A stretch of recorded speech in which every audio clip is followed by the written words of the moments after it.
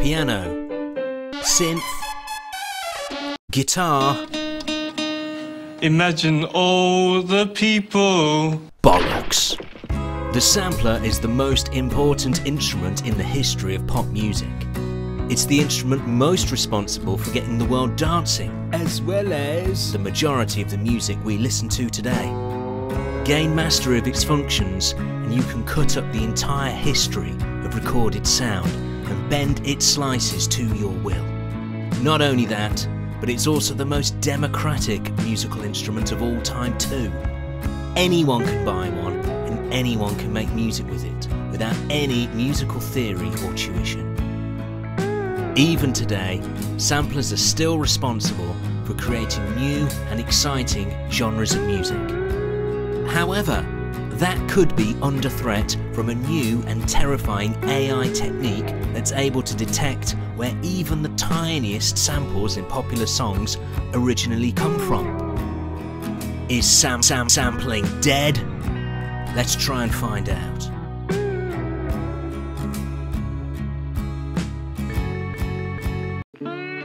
Sampling has been around for a long time.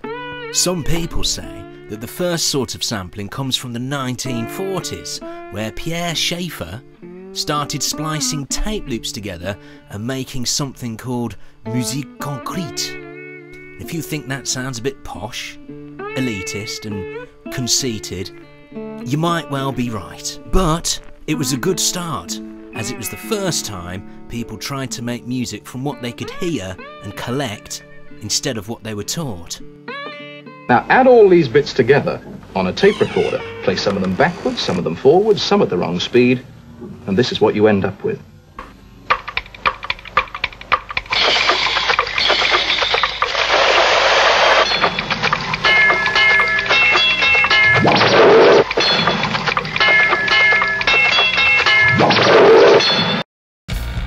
After that, there were analog samplers, most famously the Mellotron released in 1963. They essentially played a tape loop for every single piano key you pressed at different speeds. Most famously, of course, in this song by the Beatles. Oh, shake it up, baby, now. It's that one, isn't it? Yeah. Amazing. Strawberry Fields is so famous, most people think that the Mellotron sounds like this all the time. But it doesn't. You can record and playback any sound you like. So it's basically a primitive sort of sampler. Here's a French accordion with a Viennese waltz. Mm.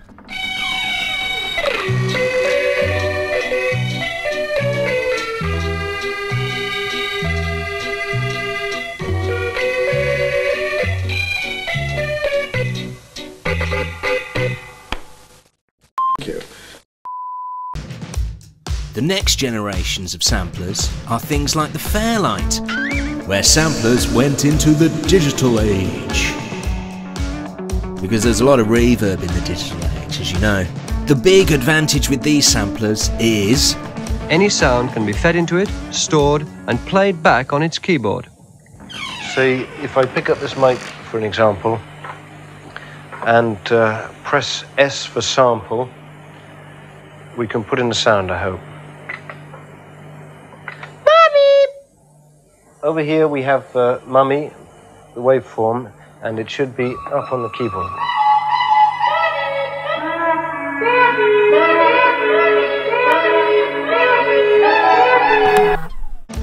Now that sounds could be easily stored and replayed, things like attack, decay, sustain, and release started to come in, which was brilliant for manipulating Mummy in new and exciting ways. However, units like this were very, very expensive, which is why Peter Gabriel's got one. It wasn't until the latter half of the 80s that sampling really exploded, when Akai released a whole range of awesome samplers like the S900 or MPC range that even poor music producers could afford. Digital samplers like this changed the pop landscape forever, making hip hop the behemoth it is today, whilst inventing and reinventing a million other dance genres along the way. But how about now? Is sampling dead? Uh, well, no. The internet makes it possible for you to crate dig. Basically, any sort of music from any sort of era. Plus, there are more and more cheap options to sample things with. Uh, you can do it with a computer. If you don't want to use a computer, uh, you could use a Roland 404, or you could even use this thing uh, Teenage Engineering Pocket Operator KO. You can even hang this on your door.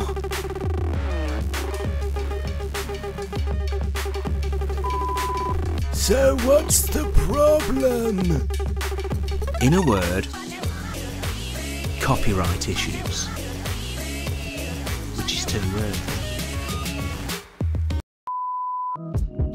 AI is a bit of a hot topic right now, and it's almost certainly going to change everything in our lives in ways we can't begin to imagine yet. It's a big problem for sampled music, however, well, according to this article at least, because it's already so good, it's able to tell where all your samples have come from, which is big trouble if you haven't cleared any of them. So basically, um, these guys trying to find samples in records, they're kind of, well, they're the musical equivalent of train spotters, really. And, uh, you know, you only live once. If they enjoy that sort of thing, that's okay. But before they'd use things like Shazam, and it wasn't that accurate, as anyone who's ever tried it in a bar or tried to hum something uh, to try and remember what a song's called could probably attest.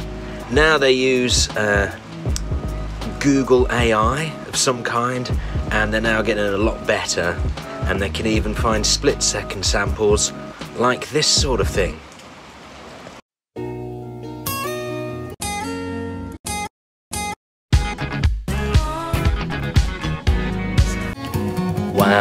Mean, it's really impressive, but I don't know, it's kind of like taking a protractor to a rave.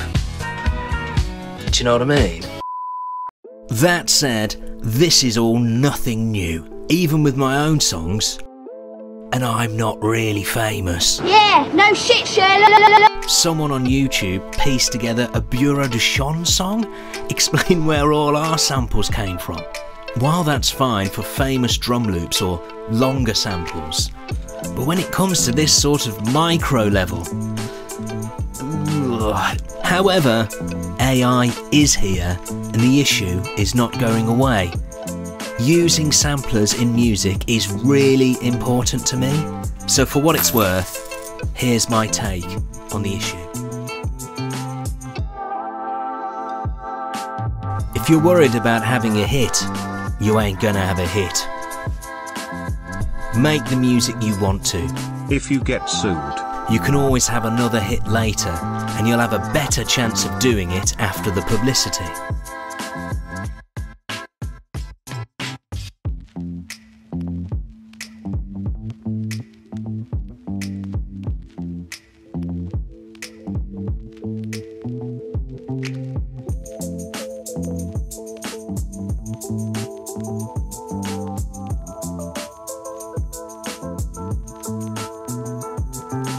The only way to get famous is by being notorious.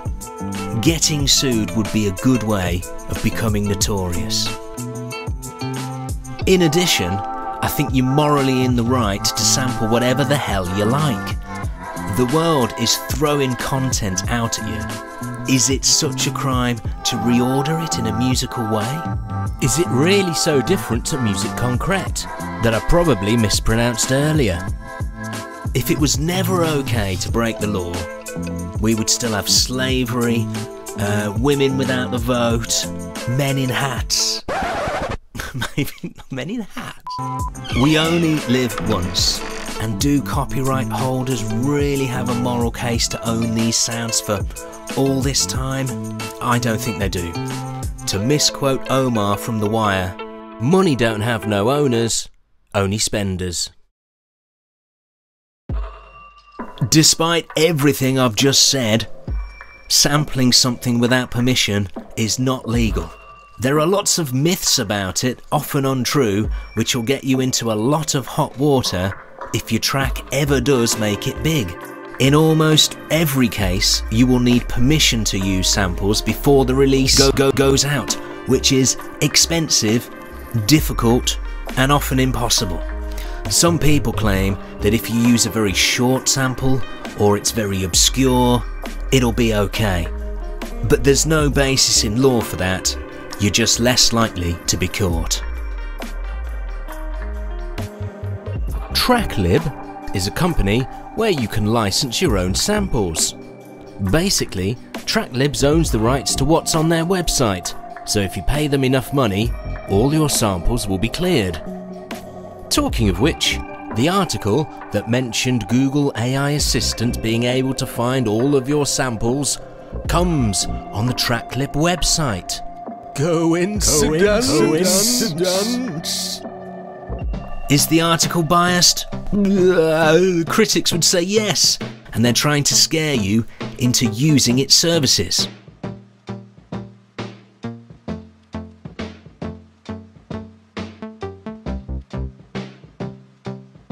I did try Tracklib about a year ago, but I didn't like it for the following reasons.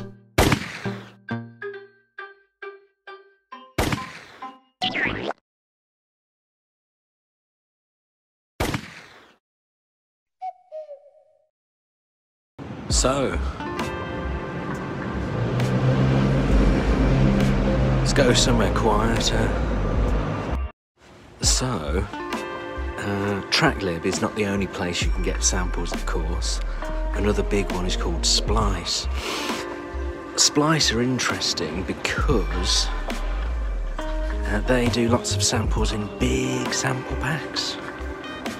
And uh, Venus Theory, another YouTuber, did a very interesting video about it. You should watch it. Links in the description. Um, these sample packs are brilliant and rubbish in equal measure. They're brilliant because you will sound very professional very quickly, and they're made very well. Uh, on the downside, if someone else uses the same sample as you, you're gonna look like a bit of a Charlie. Um, yeah. Uh, interesting. Well, the Venus Theory video, some guy bought one of the sample packs and then recreated the demo tune that came with it using the same samples and then said it was his song. Is it? Hmm. Don't sample shorter, sample longer, and then lie. Do you remember Jay Z's hit Hard Knock Life? The track is basically one big sample of a song from the 1982 musical Annie. When Jay Z asked to clear the song, he was turned down, so he lied. And he wrote back to the record company saying, I'm just a young man in the seventh grade. I won an essay writing competition at school. And the prize was to see Annie. It inspired me so much. I wanted to make a rap song with it. Please let me use it. Please, When sir. they read this Please. letter, they said yes. Plus, If you do it this way, there's only one sample to clear.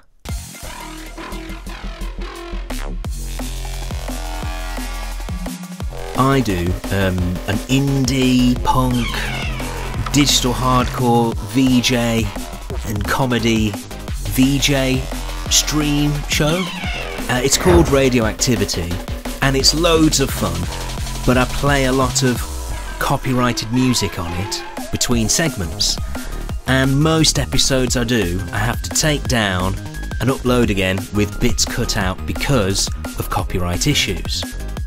Uh, this is changing slowly now, and uh, while I still get found out by the algorithm, on Twitch they sort of let me do it live and then ban me later, and on YouTube I get a lot of flags, but whereas before they would say, Your show now can't be seen, it now says, We allow you to use our material, which is a hell of a step forward.